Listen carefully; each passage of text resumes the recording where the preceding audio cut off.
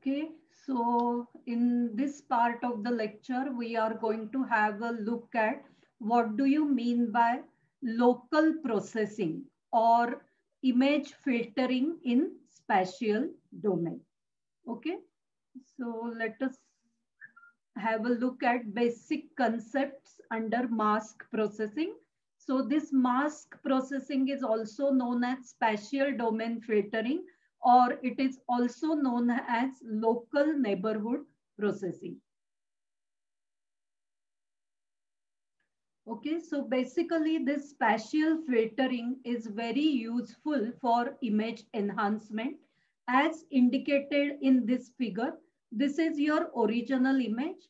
If we apply a spatial mask for image smoothing, we get this image where we can observe that this is blurred version of the original image. Another application of spatial filtering is image sharpening or edge detection. Okay, so if we apply a mask for performing edge detection in this image, we get this result. So here you can easily observe all the edges present in the given input image. Okay. So let us see how we can achieve it by local processing. Okay. So basically in previous operations, that is point processing operations, we have processed each pixel value and we have not considered local neighborhood of the pixel. We directly applied desired function on a single pixel value. But now, in case of neighborhood processing or local processing, we are going to consider small neighborhood around a pixel. So let us have a look at this very simple example. This is a two by four image. There are two rows and four columns. Now, in order to process this very first pixel, say this is your very first pixel. Now, in order to process this particular pixel, we are going to consider this neighborhood which is shown here in green color. Okay. So in order to determine new value of this pixel, we are along with this pixel, we are going to consider these three neighbors. Okay. So here we are considering simple summation operation. Okay. So we can apply a summation operation on uh, this pixel along with the neighborhood and we can get its new value. So in this case, uh, in case of sum operation, we simply add these four pixel values and we replace original value by this addition. So 6 plus 8 plus 12 plus 200 gives us this sum value, which is 226. Okay. So in order to process a pixel, along with this pixel, we are considering some small neighborhood. Okay. So after processing this pixel, we can go for this next pixel, which is 8. Now for this pixel, now we have to consider this particular neighborhood. We can consider these four pixels and we apply the summation operation. So 8 plus 2, that is 10. 10 plus 20, that is 30. 30 plus 200 gives us 230. So when we apply the neighborhood concept, this summation operation for next neighborhood, we get new value of this pixel with original value 8, which is 230. Okay. So this is processed value for this next pixel. Now, similarly, we can process all the pixels in the image by applying this neighborhood. So similarly, we can go for the third pixel, that is this pixel with value 2. We can apply same operation, that is summation on this image Okay, so 2 plus 0 plus 10, that is 12. 12 plus 20 gives us 32. So the new value is 32. Okay, so this is concept of local neighborhood. In case of point processing operations, say consider simple image negative. What we did, we considered single pixel from the image that is 6. We applied a function 255 minus 6 on this image and we got new value which is 255 minus 6 okay for point processing operations similarly for next pixel 8 we subtracted in it from 255 to get image negative. Then we moved to next pixel 2. We subtracted it from 255 to get its new value. Similarly, we can apply point processing operations on each and every pixel. So in case of point processing operation, we simply consider that particular pixel. We apply the function on a single pixel. Whereas in local processing or mask processing, we consider some neighborhood and we take into account all the pixels under the neighborhood to get new value of pixel under consideration. This is meaning of processing an image by considering neighborhood or local processing of the given image. Okay. So did you get the concept, conceptual difference between local processing and point processing? If you have any doubt, please type in type it in the chat box. Okay. So this is conceptual difference between point processing and local processing. Okay, so in case of neighborhood processing, we, uh, for, we consider a neighborhood of a pixel P at position XY and the neighborhood is indicated as a set NP. Okay, so neighborhood is indicated by all the pixels under the set NP.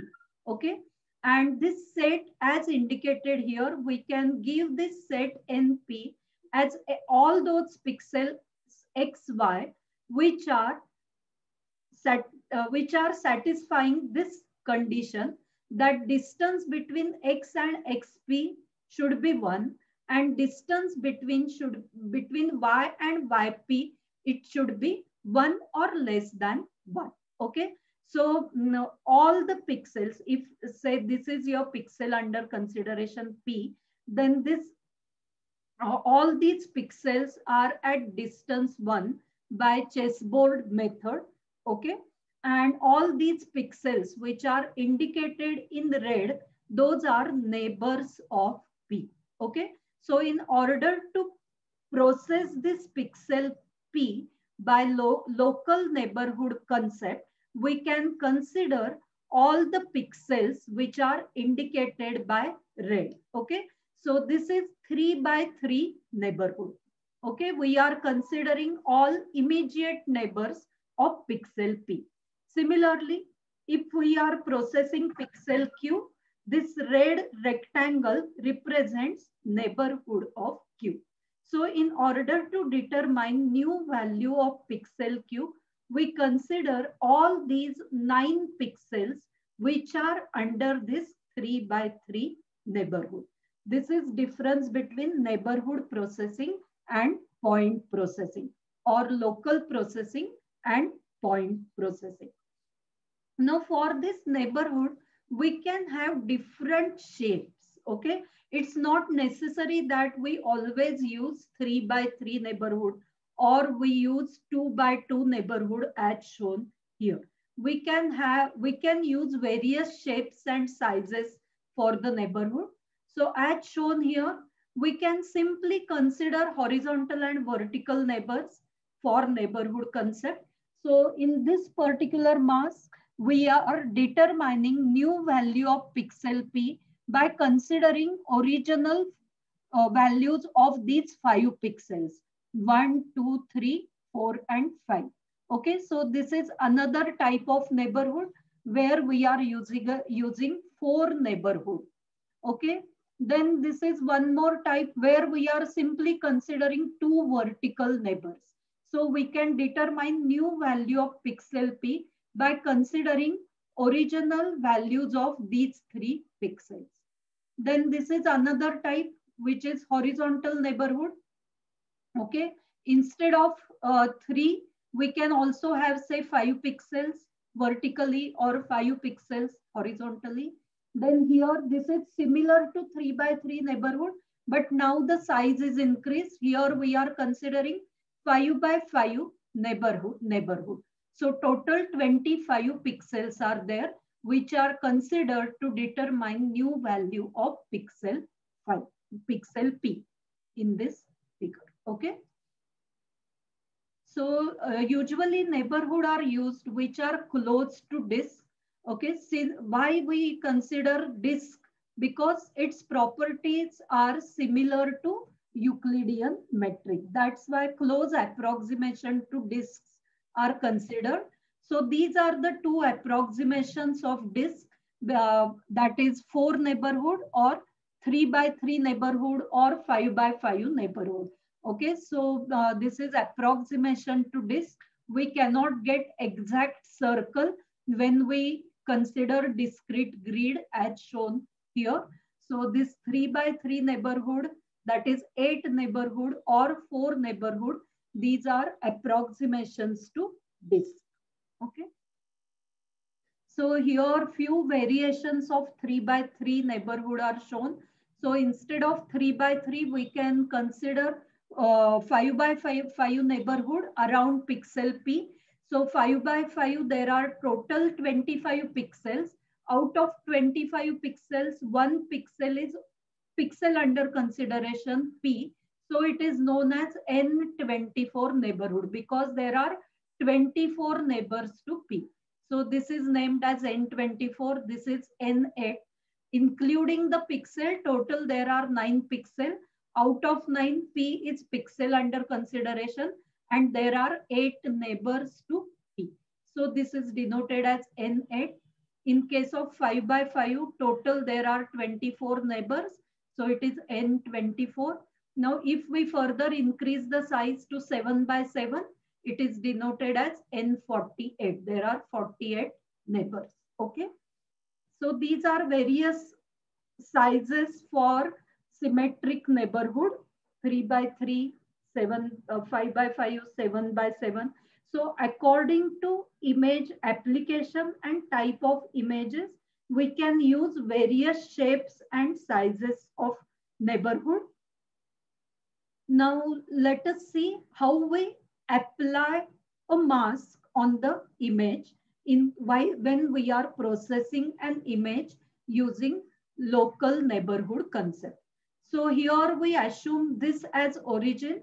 Your x value increases in this direction or column number increases in this direction and y value increases in this direction. That is your row number increases along this y direction. Okay, so we can apply a mask on each and on each and every pixel of the given image and we can scroll this mask over the entire image. So as shown here, uh, consider a pixel E and this is its local neighborhood. Okay, so this local neighborhood uh, along with the local neighborhood, total there are nine pixels. So as shown here, we can have these nine pixels A with values A, B, C, D, E, F, G, H, I. Okay. So uh, this is your area from the image under the mask. Okay.